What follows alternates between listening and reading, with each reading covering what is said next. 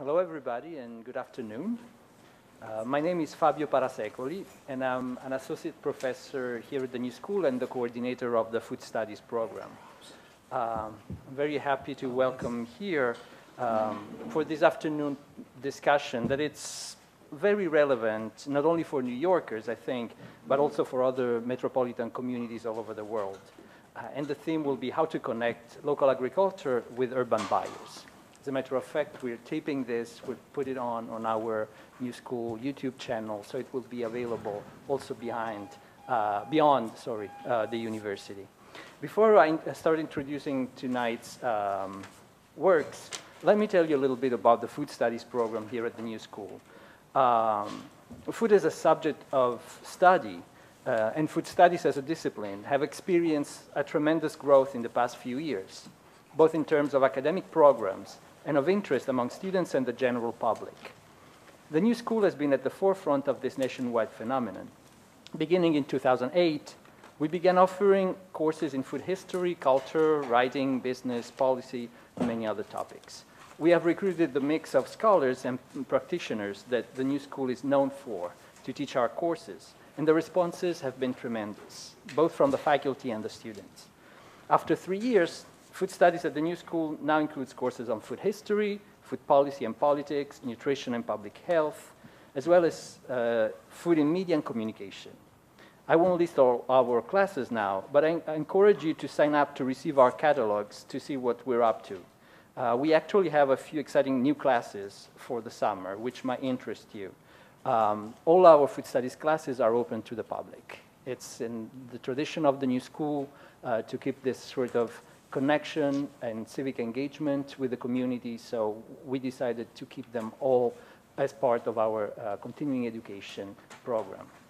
Um, the food studies curriculum is growing and will keep on expanding in the, in the next few years, not, not only in terms of classes, but also of events like this. Actually, last month, we experimented with the first pop-up class in the Union Square Farmers Market, which was, surprisingly, I must say, covered by the New York Times and New York One.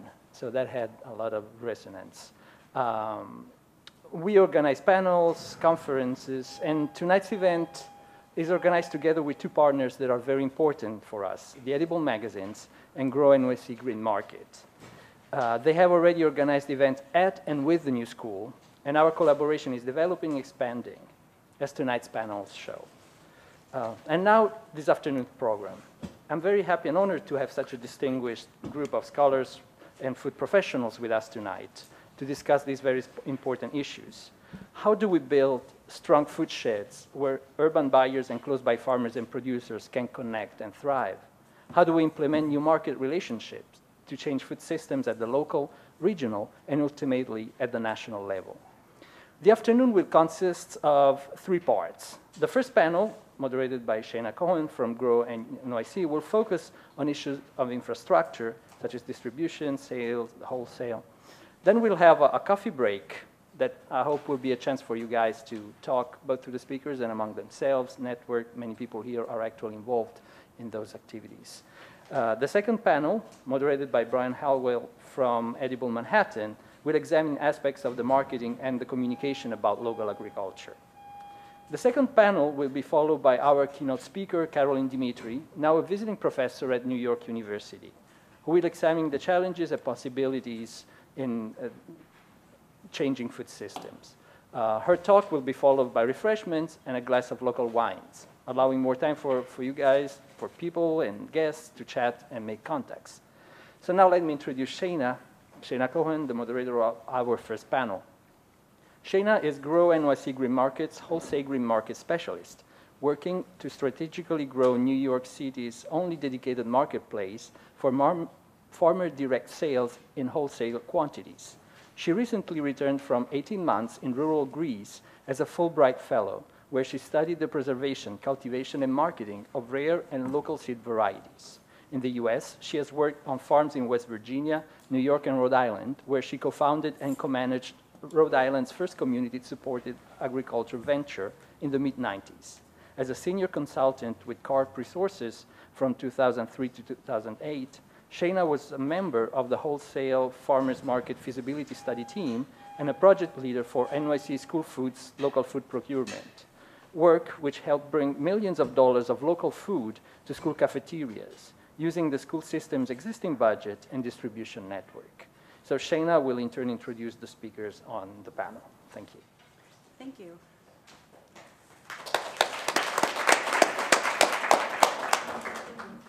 Too far away. Yeah. So I'm very happy to be here today and to be moderating this panel on this topic, which is always sort of at the center of my mind and my work, and to be here with these three panelists, panelists who I think will have a lot to contribute to a discussion on this. Uh, as Fabio mentioned, I've helped manage the wholesale green market, which is a nighttime market in the Hunts Point Peninsula from 2 a.m. to 8 a.m., where farmers from around the region can sell in wholesale direct quantities to wholesale buyers of all kinds, institutions, restaurants, caterers, bodegas, anyone and everyone who wants to buy wholesale. So this is a key piece of infrastructure for the city that we're looking to build into an even better, more dependable piece of infrastructure, um, an actual building um, with loading docks, perhaps cold storage and things like that, which is one of the reasons that, that I'm on this panel as well as a moderator today. I think when we talk about infrastructure and distribution, we tend to talk a lot in, in our world of direct marketing at, at Green Market, we talk a lot about how agriculture has consolidated and how groceries have consolidated. But we tend not to talk as much about all of the infrastructure in the middle that's consolidated and how that consolidation has sort of cut out small and mid-scale farmers along the way. Um, when we talk about that, we're talking about packing lines, we're talking about processing, cutting, um, shipping, trucking, all the distribution logistics, and everything along the way. So today what I want to do with these three panelists is get into the specifics. Where are the gaps in infrastructure and distribution in our region? How did these panelists work to fill them? And having done what they've done, what gaps do they see now and what's next? Um, we know that the demand for local food in our region is huge. Uh, the wholesale farmers market study that Fabio mentioned when he was introducing me indicated that there's $866 million of demand, unmet demand that is, for local food from wholesale buyers only in the city. And what did they say over and over and over again when we talked to them for that research? What did they want? They wanted food that had to be, it had to go through some kind of infrastructure, not just raw food. They wanted something that was fresh cut. They wanted meats that were cut and ready to sell or use. They wanted cheeses. They wanted things that didn't just come straight out of the ground, packed however, and come to them. They wanted standard packing so that they could stack things in their coolers in a clean and, and systematic way. Um, so all of that points to a greater need for infrastructure. And infrastructure can be as simple as a walk-in cooler. It can be as complex as a facility that washes and cuts and packs and ships and does all of that along the way. Um, but what does infrastructure mean? One example of, of how big an impact a simple piece of infrastructure can have is at the Rungis uh, market, which is one of the biggest produce markets in the world, or food markets in the world, actually, not just produce, in Paris. They built a shed no, no cooling, no climate control, just loading docks and a shed for the farmers who sell direct there. And the, mil- the minute the building went up, nothing else changed, farmer sales increased by 30%. So small things can have a big impact. I think the other thing I want to talk about is um, that when we talk about infrastructure, we're talking about not just direct food, food that comes direct from farmers to us, though we think a lot about how that food and the relationships that farmers and consumers build enriches the food that we eat, there are a lot of farmers that don't have or want to use the skills that it takes to direct market food, or they grow or have a scale that, that prohibits them from selling direct. And we need this kind of infrastructure to sell their food for them.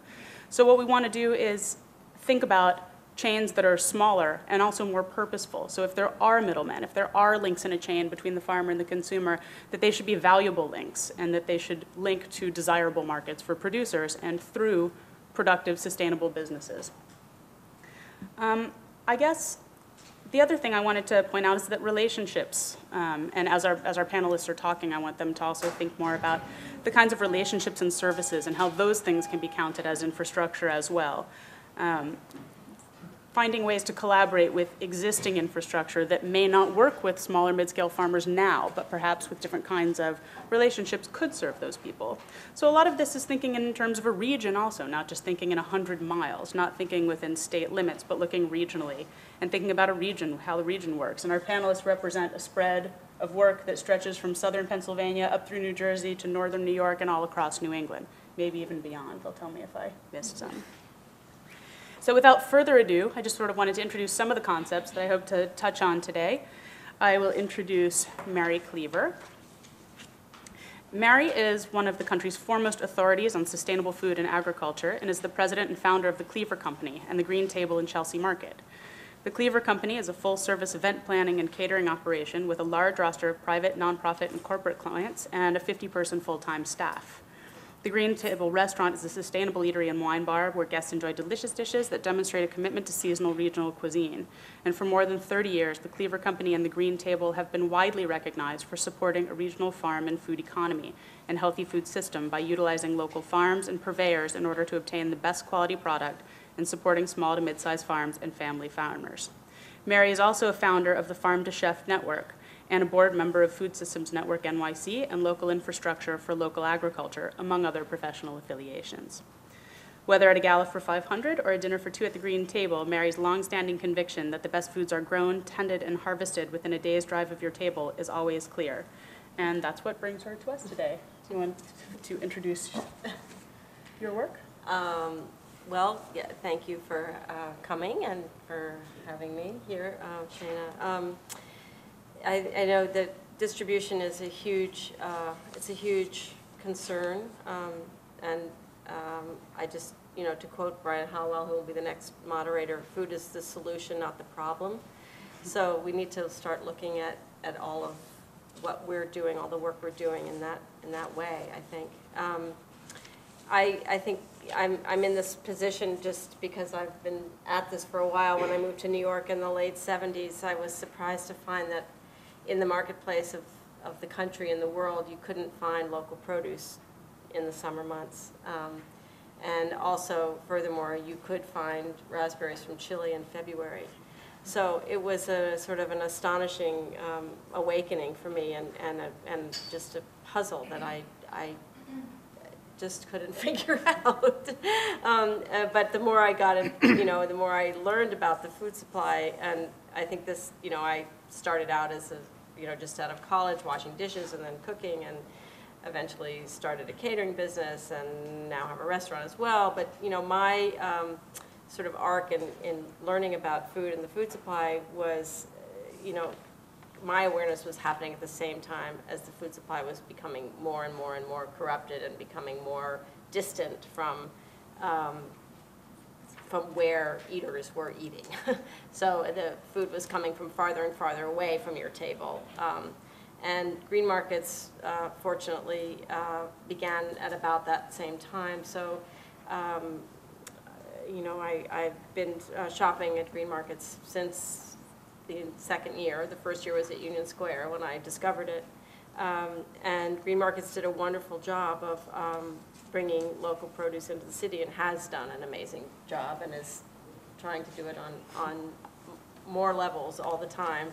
Um, and I'm a big believer and supporter in the work that they do. Um, I think that, uh, you know, uh, Shayna mentioned Farm to Chef, which is a, group that was started with a grant from New York State Ag and Markets, um, and it was just uh, began around the. We first started talking about it in the fall of 2001, and that just was a conversation that I had at Green Markets with a pork producer who I met for the first time, I think the week before the trade towers fell, and. Um, it, I was very excited to see that because I had become more and more concerned about where my meat was coming from, how it was raised, how it was slaughtered, and uh, you know what my goal in the food industry and as a as a food professional is to make sure that all the food that my clients eat not only tastes good but has benefit to them and in health and benefit to our ecology and our earth and is sustainable uh, represents a sustainable uh, philosophy. So um, so it was exciting to see local pork in the green market. And um, actually, when the trade towers fell, the Cleaver Company became sort of a, a reverse uh, location for City Harvest. So rather than us sending food out to them, they were bringing raw product to us that needed to be turned into meals. Because um, people were sending food from all over the country, actually, to, to the city to try and help us feed, uh, feed the city um, at that time. But um, through the course of the year, it's sort of a long story, but through the course of the year, City Harvest then was given grants from the National Pork Board and the National Beef Board, which they then in turn gave to me to use for the work that I was doing at that time at St. Paul's, because after the, um, after that initial uh, the- uh, throughout the first week after the trade towers fell, there was a lot of unhealthy food being served around the city, and the health department got very concerned about it. So St. Paul's came to me and asked me if I would provide 200 meals a night for the rescue workers and the recovery workers at St. Paul's, which we were so happy to be able to do. And um, it was just a- an an at-cost arrangement that kept my staff working because nobody wanted to have parties at that time. And um, so I took this money from the National Pork Board that- through City Harvest, and I said, well, can I use it with a small producer in upstate New York? And they said, well, I don't see why, why not, as long as it's pork. So um, I called up Jen Small uh, at Flying Pigs Farm and said, I have $3,000 for you, can you supply me with the pork? And they really had to work on that because they were just a fledgling business at that time. Um, But it was a big help to them. And we began talking uh, about how we could get more small producers into the marketplace of New York City. And when I went to the, I found the beef farmer, who was a a man named Mike Scannell in in Schodack Landing. His farm is called Harrier Fields Farm. And um, I realized when I visited Mike how difficult it was, you know, when you have animals that you're feeding on grass and, and farming, you know, pretty much, you know, in a, in a very uh, low impact way, it's very hard to get off your farm when you're raising animals. So I just became further empowered with the notion that I was the jobber. It was my responsibility to help get this food, this local food, help the producers grow their businesses by getting their product into the marketplace of New York City. We have all these eaters here in New York who need to be fed healthy, tasty, wonderful food, and we have producers who are four and five hours away. Why was it less expensive for me to get lamb from New Zealand than from four hours from New York City? I mean, these were questions that just kept coming up. How do we change this? So, um, so that's where Farm to Chef came in, and we, um, Jen Small and the uh, Paula Schaefer, who was the Cornell Ag Extension uh, representative in Saratoga um, and Washington counties, wrote a grant, and we got the grant. And then we had a big meeting in the middle of February with all the producers from three counties. Rensselaer County also joined in, who wanted to be a part of it, to come and, and learn about this idea that we had, that we were going to market food directly from them to chefs in New York City. And there were people that were like farmers like, oh, this will never work. We've tried this before, you know. And then there were others who were like, yeah, you know, let's let's give it a try. So, so that's how that began. And then we did the same thing in New York with chefs who were interested in, in sourcing locally and knowing that their food was going to come from a place where they could talk to the producer, where they could go visit the farm, where they could see what practices were in use. They could know the soil that it was coming from and, and be clear that not only was the food going to taste better, but it was also going to be supporting a healthy food supply. So, um, so that's how, that's how that got started. And um, uh, we ran it for five years. It was, it, well, when the grant ran out, it turned into a business, and then it was run by a volunteer board of directors. Ultimately, a distribution business really needs a business person to run it, it needs to be run as a business. Um, so um, we did sell it to a businessman. Um, uh, And so anyway, it's just a big part of my work and, and my belief that we can create new infrastructure um, to, to get local food, to keep our farmland in farming, and to help the producers who are really, we are all grateful to, for doing the work that they do to feed us, and we need to keep that happening. Thank you, Mary. We're going to hear from Jim Hyland next. Uh, Jim and his family moved to the Hudson Valley to become involved in the growing in growing local sustainable food movement. And in 2006, he received a $59,160 New York State FAID grant to conduct a feasibility study on creating a regional label for a line of frozen vegetable products. Winter Sun Farms started with the simple notion that wanting more local food all year long by working with small local farms to freeze their produce and then distribute it through a membership of over 1,400 in a winter CSA program. NYC members account for half of his membership, including schools and colleges. And the growth of Winter Sun Farms and the lack of regional food processing kitchens led Jim and his business partner to convert an old IBM cafeteria into a new 21,000 square foot processing kitchen in Kingston, New York, called Farm to Table Co-Packers. Besides producing Winter Sun Farms products, the kitchen offers co-packing services to farmers and food entrepreneurs throughout the region. So we heard from Mary a bit about the process of starting from scratch a small-scale distribution business, and we can hear now from Jim about, about how he went into the world of vegetable and fruit processing. Yes, and all that grant money's been spent, by the way. Um, Every penny. Yeah, every, every penny and then some. Um, Food expert, that's, um, I feel when someone says it about me, I'm like, wait, not really. I, I'm, I'm really an eating expert, I, I think. Um, Six years ago, I was just as likely to be on the other side of this table. Um, we, my, me and my wife moved up to the Hudson Valley. We were very much into local food. I belong to a CSA, and I don't know, if, I'm sure some, most of you belong to CSAs or are familiar with them, but you get that big thing of kale. Um, and I had it on my kitchen counter, and I'm like, uh, okay, I don't want to, I can't eat it all, I don't want to lose it.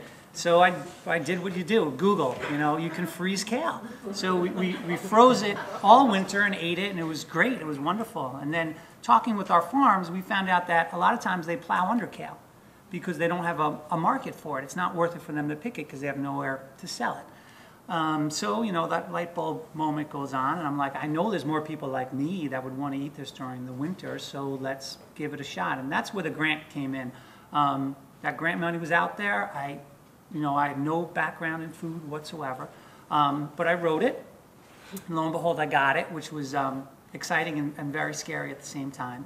Um, and we started growing it and, and growing the business very slowly, uh, working with the farms, paying them directly, um, and uh, trying to understand what the farms wanted. The farms didn't want a co-op.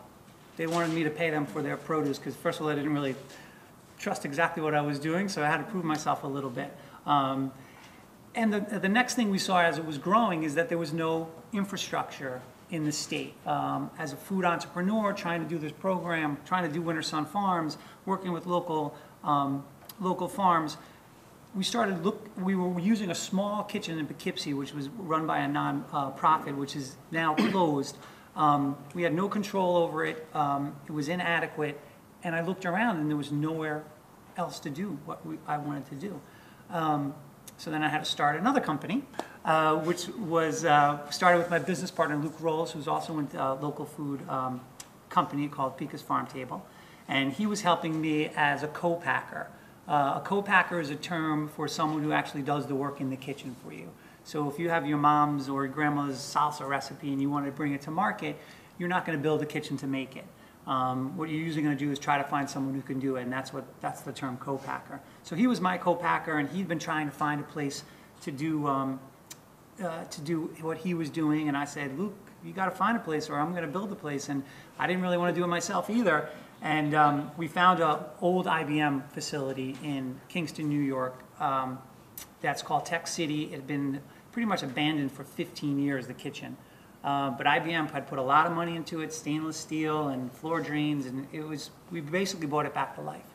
And now it's um, a production kitchen uh, where we produce the Winter Sun Farms products, the Pika's products. But as you can see, I also brought some props with me. We're also producing for farms directly. This is not even labeled. We just did this the other day. This is uh, Ken Migliorelli's tomato juice. Now, you may ask, how are we making tomato juice right now? Where do the tomatoes come from? Um, and where the tomatoes came from is um, last year, we opened in June, you know, this new facility, 21,000 square feet, we were running around, and I got a call from uh, Amy Hepworth, uh, a farmer in Milton. Jimmy, my t- tomato plants just blew, blew down, and, you know, I got two days to harvest them, what am I gonna do with them? I said, I don't know, bring them in. We'll figure something out. Um, and since we had this infrastructure, we built this infrastructure, she was able to bring in the tomatoes, we froze them, not really sure what we are going to do with them, but we froze them in, in five gallon buckets. And lo and behold, we got Brooklyn Salsa Company, you know, not a couple of weeks later says, we want local tomatoes all year round when we do our production. So from that connection, which is also part of infrastructure, those relationships, um, we put up 60,000 pounds of our tomatoes. Um, and Brooklyn Salsa is using them, you know, even now to make their salsa. And from that, the other farmers heard what we were doing. So Ken took his tomatoes and he put them in his cooler and froze them. And he, we've been thinking all winter what else to do with them, and we were testing them. And he also has a great tomato sauce, a marinara sauce that we did, and um, and we're doing the uh, tomato juice, and we were able to do that too. So that's how we're using local tomatoes now. And the exciting thing for me, besides having this facility for Winter Sun, and now Winter Sun can grow, um, not just the retail, the Winter Sun uh, shares, which are really important. Uh, we're going for 2,000 members this year, um, but we also can do institutionals. We're selling 20-pound packages to colleges, um, SUNY New Paltz, Vassar, hopefully the New School and NYU, we get uh, everybody involved in it. Um, But having that infrastructure, um, you know, was a challenge. And even within our infrastructure, what we've already built, there's more that we could, that we could use in order to help more farms uh, going forward. So that's how I found myself here. Um, And the infrastructure is definitely uh, an important thing to discuss. Thank you, Jim. Sure. Our next panelist is Gary Giberson. He's been a professional chef for nearly 30 years and joined the Lawrenceville School as an executive chef in 1998, where he began to develop the school's sustainable dining program in 2003. In 2007, he founded the food service company Sustainable Fare LLC with a focus on integrating sustainable food systems. He's earned a cert- a certified executive chef designation from the American Culinary Federation and is certified by the state of New Jersey as a master composter. He's a member of Slow Food USA and a Terra Madre U.S. delegate, a board member of Fair Food and New Jersey Farm to School, and a steering committee participant for Farm to Institute. Gary has recently been invited to join Michelle Obama's Chefs on Chefs Move to Schools initiative and attended the 2010 White House event for that uh, initiative. Um, do you want to tell us a bit about your work? Okay, so I've got, what, about four hours? Yeah. If I get up, don't get scared. Um, Okay, Sustainable Fare is environmentally responsible food system uh, company that I founded uh, out of the need. I basically am a chef by trade, as you can hear from my bio, but a a business owner by necessity. When I wanted to do this, no one really had the systems in place to do it. I started in 2004 with the school, and it started me wanting to buy eggs off a farmer adjacent to the campus, which at the time I had worked for a large food service corporation. I won't name them, maybe. Um, and they had a policy where everything was organized through their buying group, meaning that I had nothing to do with what decisions I made from where our food came from, or I had no idea where it came from. So the ability to buy these eggs um, that were local, organic, and on a uh, Cherry Grove farm, which is a, a pastured uh, farm, which actually was doing a rotation grazing, having chickens out in the wild, actually doing what they do and laying eggs, uh, was just really outside of what could be done.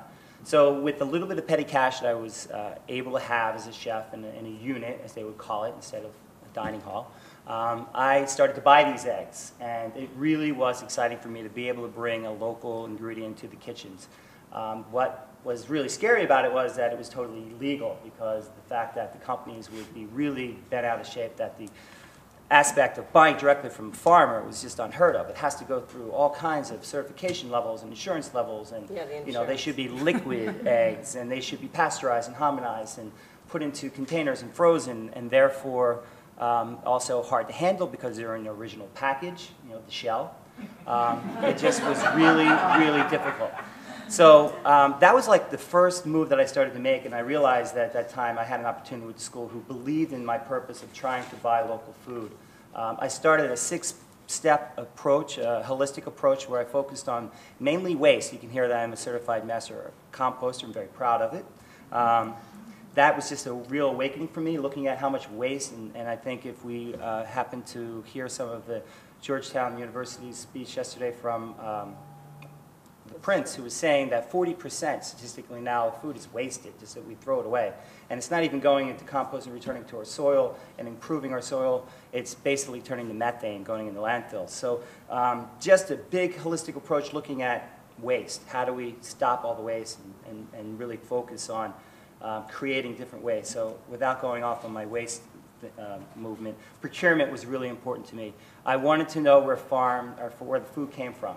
Um, my job at that time was to go to school, write the menu, basically, which from ingredients I was allowed to purchase, and get it approved, you know, through the corporate world, and then go on a computer and order it. I never was exposed to really what was going on around us and meeting any of the farmers that are out there. And as a chef for that many years, it was quite embarrassing for me to not really think about that. But in that industrial edge of food, that's what you did. You just basically bought food. You didn't think about what the uh, farmers were doing or how it was they were treating the land or treating their employees or how it was distributed or how good it was. It was just you wanted to write a, a catchy menu that you thought was really good. And in that day and age, with cheap oil, food could come from everywhere and it really didn't have a price factor. So it really was an awakening for me to start to think about and meet the people who actually grew the food.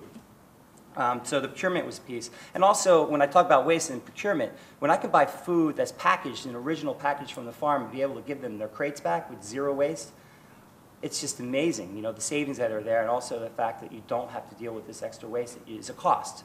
Um, all this ties together and being able to buy local food.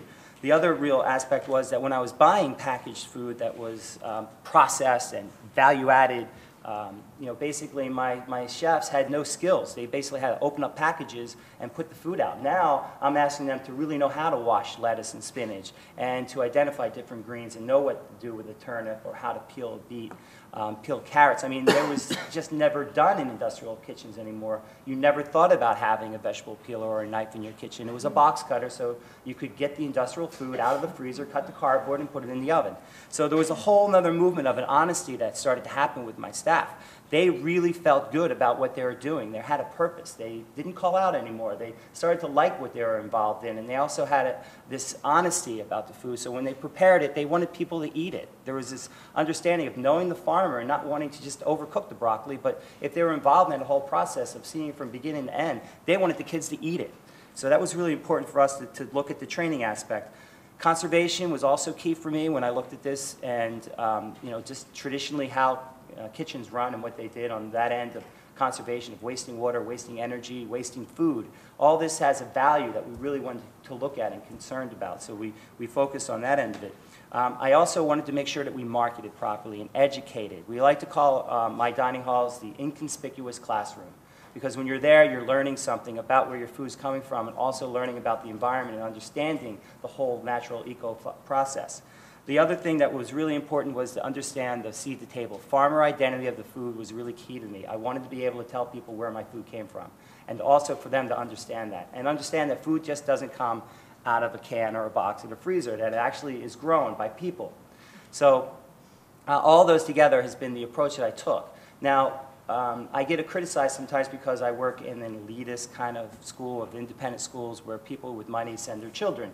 Um, we are very fortunate that the Lawrenceville School is endowed very well, where we also, you know, take in a lot of uh, students that get exposed to this uh, education and the food. But uh, in general, that's the point of where it stops. When the public schools want to buy, they don't have the money to do what they need to do. So that's where my work as a volunteer comes into effect with the chef, uh, the chef to school programs and the New Jersey Farm to School program, which I sit on the board for.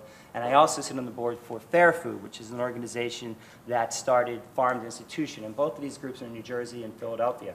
We've been able to work with the Philadelphia School District with grants to bring local foods into their school system. Now, one of the problems that we said in the infrastructure was that we had found all these great farms. We found some people who are interested in making sure it gets into the cafeterias, but we had no way of getting it there. So out of that conversation, it took us two years, we finally realized we needed to have a distribution system.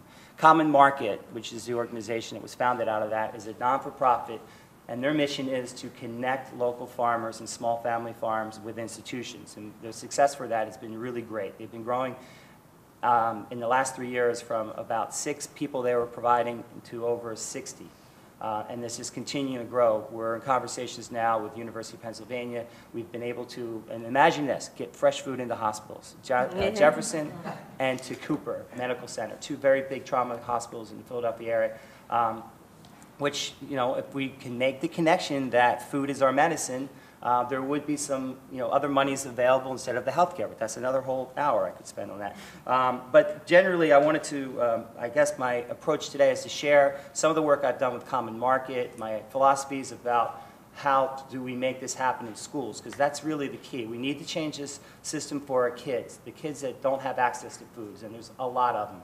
Um, Again, don't get me started on that one.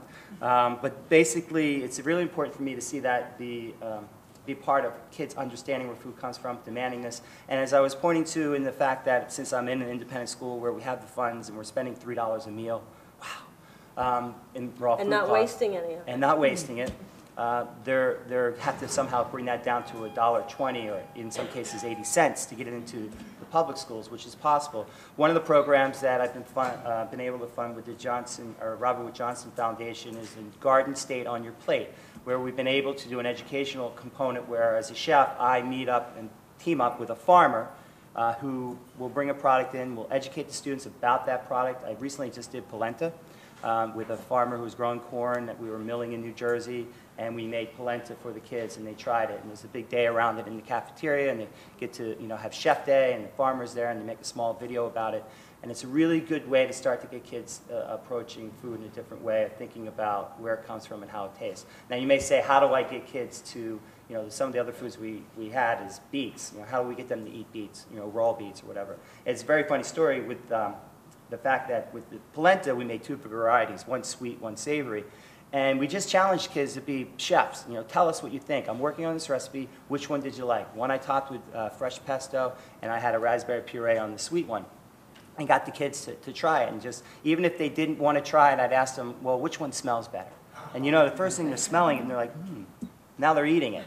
Um, with the beets, we made a soup with an orange, uh, a little orange uh, zest to it, and the kids were looking at it, and they, they were digging the color. But as soon as I said, cheers, and went around to the tables with them, and they're cheering their friends, and they're drinking more, and can we have more? Because it was a game for them. They were involved, and I said, well, how's it taste? And they're like, this is really good.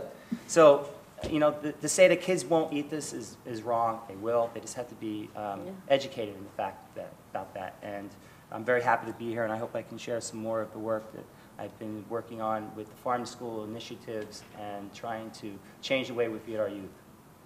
Thank you. So I don't know how we're doing on time. We're doing okay? Great. Um, Then I'll pose a question, maybe a couple of questions to the panel, and then open up the floor if anybody has any questions for them. You all kind of addressed the issue of infrastructure and just infrastructural solutions of growing local, the local food movement and local food access from niche to mainstream. Uh, And you all run mission-driven businesses, essentially. And so when you're going from small scale to a larger scale, I wanted to hear from you sort of, what are, what are some of the challenges that you face in, in growing that, in growing infrastructure to do that while maintaining, keeping your mission as central to your business while being profitable in, in the food industry, which is a very small margins industry for businesses, as I think we all know. And, and on that same topic, what do you, what do you see as the limits of scale for the infrastructure that you've been a part of building? Um, you know, how far would you like to see it go? And, and what do you think is an appropriate scale for the distribution company, for the processing company, for the reach that you've created? Anyone can chime in if they want to. I'll start, like, the- the challenges, um, I mean, I look at what I've done as, as a business. So, uh, for me, people ask me sometimes if I'm a nonprofit, and I'll say, no, no, I'm, I'm a profit business, because, and I want to make that distinction, because I think it's really important that if you're going to make a regional food system, to have businesses that profit off farms. I mean, otherwise, it's not going to work. So I'm a for-profit business, and, you know, I don't care what you're doing, it's all the same problems. You know, capital, uh, planning, um, um, all those, all those things that come in, that come into play also come into play for us. We've had some great help from um, Hudson Valley Agribusiness Development Corp., um, long name, but good group, um, that has, you know, got experts for us to, to come in when we needed it. Um, and they're a nonprofit, which is good. They're a nonprofit helping a profit company. Um, so any kind of, any kind of thing, uh, that a regular business would have, we, we also, we also see those problems. Uh, I'll jump in then. Um, You know, s- some of the barriers. Uh, Is anyone familiar with the CAVE organization? C-A-V-E? Citizens Against Virtually Everything. Um, That, that is probably one of the biggest pushes in schools. You have some parents who just are not educated about it, don't care, and will continue. And, and in some cases, you know, as, as we've evolved into this food system, it's been about convenience. No one wants to be inconvenienced about what they do. So that kind of parlays into some of the institutional aspects of value added. Um, when I was able to try to make connections with farmers and schools, well, they can't really reinvent some of the things they do. Some of them don't have kitchens in general, so there's this value-added needed process where we need to be able to get this food from the farms, have it, and, and sort of the work that been trying to accomplish now, into institutional packing sizes so that they don't have to deal with some of the heavier labor issues about doing this food. Um, the, the other thing that I think is important um, is building this awareness so that there is also an educational component that is really important, that people understand the value of the nutrition of this food and how fresh it is and versus the, um, the, some of the processing that's going on in the food that's being shipped so far away. So I think it's important for us, and as I use the common market as an example, because we actually started this um, company as a non-for-profit off of grants. I feel the same way as, as my co-panelists here, that it has to be a for-profit situation, and that's our goal for this nonprofit is to turn it into a for-profit organization because of the fact that it won't continue on if it has to be supported by grant programs. So that's a real uh, a struggle for us, is finding the money to make sure that the business is a, is a sustainable business to be able to provide the services that are needed.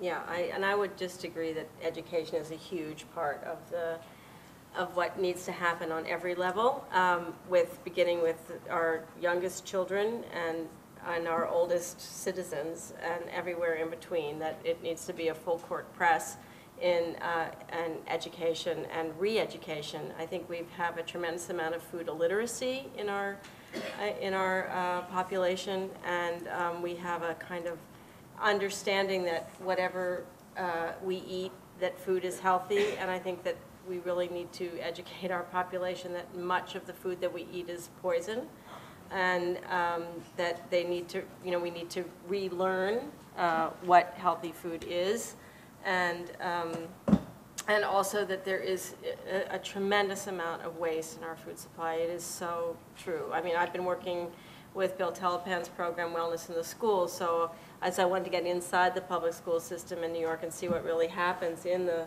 in the classroom, in the in the cafeteria, and you know the they have a dollar, okay, but the wall of the school cafeteria that I've been working in, which is in Windsor Terrace, is lined with bundles and bundles of styrofoam trays that are wrapped in plastic. And the kids are given um, a spork every day that comes in a plastic container. It's a plastic spork in a plastic container. So just from the get-go, before the food even hits their tray, there's this waste created. And then they're offered many different choices, and they can't eat it all, they're little kids. And it ends up in the garbage at the end of the lunch uh, time. And so I think that there's, you know, we have a lot of reassess, you know, we don't, there, there doesn't need to be a choice of four different entrees in school lunch. Um, I don't know how you feel about that, but. I definitely think that we, we have issues with what we require to be on a tray and Yeah. what we call food. Yeah, yeah. And what, what a uh, And the- exchange means. Yeah, and that the, um, that the edible schoolyard programs and putting gardens in our schools and teaching kids how to grow food is a very important part of helping them learn how to eat good food, so. Could I, go ahead. The second part of your question, though, I want to answer too about the scaling up. Um, a lot of times I get the question, you know, people come see our facility, it's 21,000 square feet, it's pretty big um, for me, and they'll come in and say, okay, well, how much can you do? You know, what's your, what's your limits here? I'm like, you haven't placed one order with us yet. Why are you so worried about what I can do? Why don't you just start ordering and then we, we can go from there and we can grow it as we go. I'm, I'm probably one of the few people that whenever I do these talks and the distribution comes up, I'm always like, I'm not really that worried about distribution. There's, there's, la- there's maybe lack of trucks, but I'll tell you one thing, if NYU and the new school is gonna buy, you know, 10,000 worth of product from me, we'll get a truck there. You know, a truck, someone's gonna come up and make that business, or we're gonna figure out how to do it, that's gonna happen. So that doesn't, that doesn't scare me. Um, so the whole, I don't like looking at it like, okay, well, what can you do? Let, let's get there, let's take our time. There was a study that said that if, um, if all the, uh, acreage in New York State was put into farming right away, we could only feed sixty-five percent of all our needs. I'm like, "Wh- why, what are you talking about? Let's just start doing it and we'll see where we get there. And we'll worry about that. When we're at sixty-five percent and our farms are not max. let's, you know, let's start worrying about where we're going from there. So scaling up, I think, you know, I think we, there's, there's no limit until we hit it and we're far from it. Agreed. Yeah. I want to open the floor up. Could, could I just, I wanted to try to do something real quick. Could, by show of hands, could I just um, get a feel for the audience? Uh, If anyone is in food production or a chef, raise their hand. Farmer? Distribution? Education?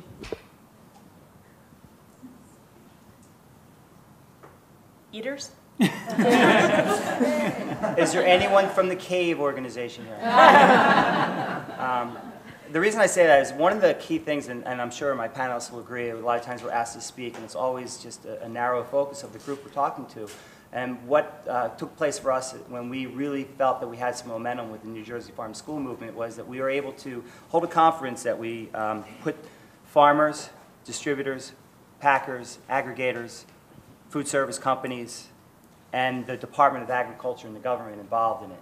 So we had all the right players in the right room where we ended up, at the end of the day, really making progress because we can take all these ideas we talk about today and we'll all agree upon it and preach to the choir about it. But, you know, if the farmers are not here and the packers and distributors and the people who want to buy it and the state don't understand this, then, then that's where we're missing. And I think there should be more effort for us to not um, leave empty spots at the table. Absolutely. And in my work with school food in New York City, I've definitely found that facilitating communication across these sectors of the food industry that depend on each other so intensively but don't always communicate is, is a really key part of missing infrastructure, I think, in, in the regional food system and getting local and regional food into the city. You had a question? Yes. um, Thanks. Uh, Hi, my name's uh, Alyssa Roth. I'm the um, Bronx Marketing Outreach Coordinator for NYSERDA, which is the New York State uh, Energy Authority. And I have a question for Jim and Gary. Um, You both started out uh, with grants and have transitioned to be for-profit companies. And I was wondering if you could talk a little about, a little bit about the transition from nonprofit to for-profit. uh, When's the right time to do that, and what were the steps that you had to take?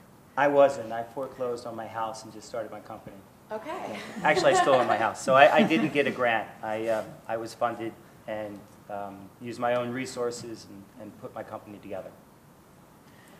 Um, I got the grant, uh, it was a Grow New York City grant, a Grow New York State grant. Um, It was for a feasibility study. So all I needed to do at the end of that was to hand in a piece of paper or a report showing the feasibility of it. Um, That didn't make a whole lot of sense to me. Um, So I did hand in the feasibility, you know, it- that was done, but I really took it as seed money. Um, And from there, just kind of started from there. Um, and then when we started the new company, which needed a lot more capital than the sixty thousand dollars, um, that was when the house goes on the line. Um, and uh, you know, we haven't seen too much grant money um, from what we were, you know, from what we're doing at, at the next step. But the grant money gave us um, enough information, hopefully, that we know we made the right choice when the more bigger capital was needed. I think, you know, to answer your question, maybe in reference to why you're asking me, it was about the Common Market, who started as a nonprofit and still is. They have a very good board that's structuring them to become a for-profit. So a lot of the initial investments that the grants money was used for was for the distribution, the trucks and the space, and then just the systems in itself. They've, I I would recommend anyone to go online and take a look at what they've been able to accomplish and see their growing list of uh, products and farmers that they deal with. And uh, Gary doesn't even know this, but um, Common Market's carrying Winter Sun Farm stuff. I don't know if you knew that. And that was a relationship that just, you know, happened, and that's when I'm talking about the product, the demand, the distributor, you know, he was there, or they were there. Farm to Chef, which Mary was involved in, transitioned from grant to business, so perhaps we could address that Yeah, question. um, and so that was, um, when the grant ran out, it- it was, uh, corporation, a C Corp was formed. Um, There were, um, we raised uh, $12,000 with various investors, so it was started with very, very low, um,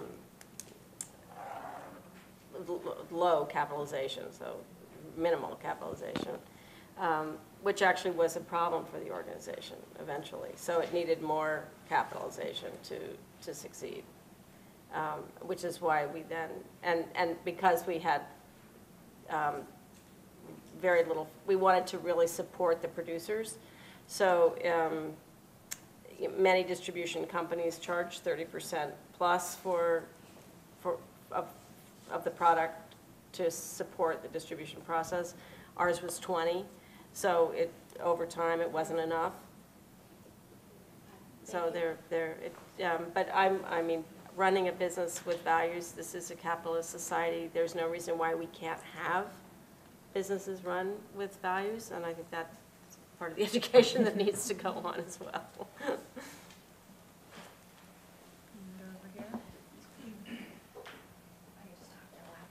Um, hi. My name is Rihanna. I work uh, for a New York City council member, and I've done a lot of work in the schools. And so, my question is, um, in keeping with that, you know, things can't go on forever with grants and sort of nonprofit funding.